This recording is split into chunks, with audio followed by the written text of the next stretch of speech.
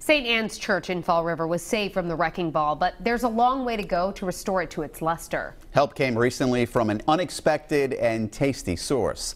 Eyewitness News reporter Walt Buteau in Fall River with tonight's street story.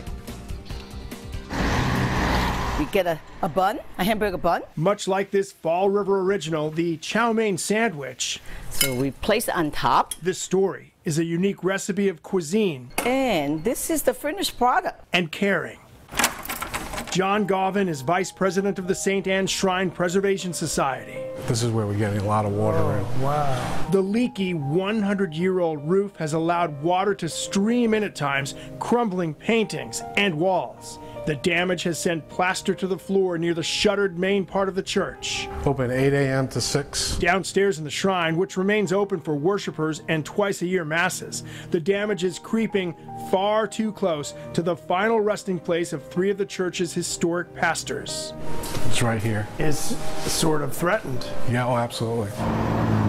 The Preservation Society, now leasing the church from the Fall River Diocese for a dollar a year for the next decade, is raising money to hopefully repair everything from the stained glass windows to the enormous pipe organ to the leaky roof and the plaster. Miracles are among the memories for parishioners like Gauvin, who recalls a friend asking a priest for help with polio during a healing mass in the 60s. And he said, All I want is one good leg.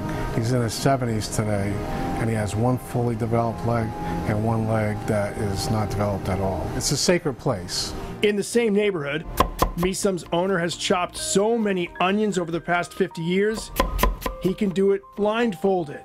It was a natural for the restaurant to donate a day of chow mein sandwich sales to help preserve the church that is so important to their customers and family. A ready chow mein sandwich? What they did not expect were lines at the door 1,500 sold sandwiches, and a $10,000 donation to help save the church. You couldn't believe how many people come in here.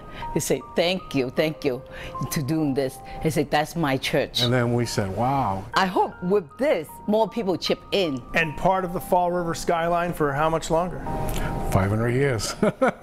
There's no price tag on what it might cost to rehab the church, but parishioners will tell you the results will be priceless.